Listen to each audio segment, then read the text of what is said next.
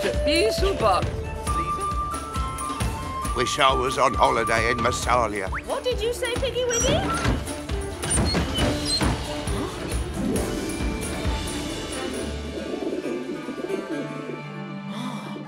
The Pigeon Tower.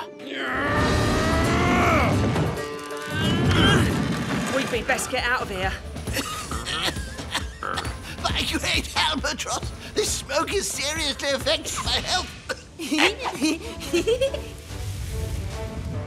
We have to get Asthmatix to the Pigeon Tower. The air up there is more breathable.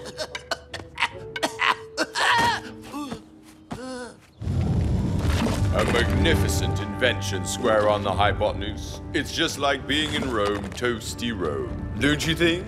My pretty princess. Mmm, At last something nice in this cat-forsaken hole. With this wood-burning heating system, you'll be able to enjoy temperate climates once more, General. Hmm.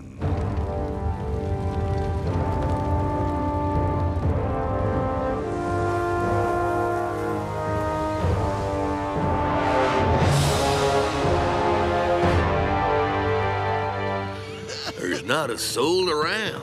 Don't you see us? We're behind you. You're so silly. You should have left me at the hideout surrounded by memories of Camulogene. And leave you to choke in this smog? Never. I recognize that voice. It's Prina. Prina! Prina! We don't have time to save everyone. We got to take care of Asthmatix first. Pantera, Prina is our friend too.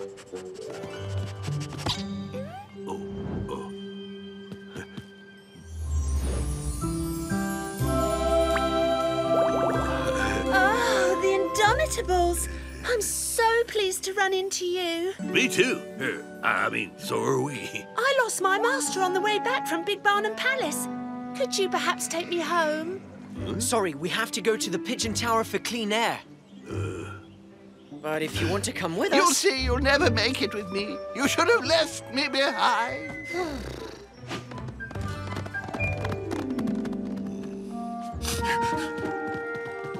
Prina, as soon as Asthmatix is safe, I'll take you back to your master's shop. I promise. What was your master doing at Big Barnum Palace? He was trying to sell insulated wall hangings to General Labienus, but the General had already found a way to heat the palace.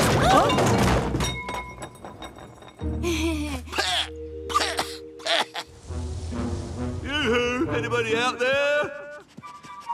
I'm counting on you dogs to help us find our way back. So tell us, which way is Big Bonham Palace? They think we're St. Bernards.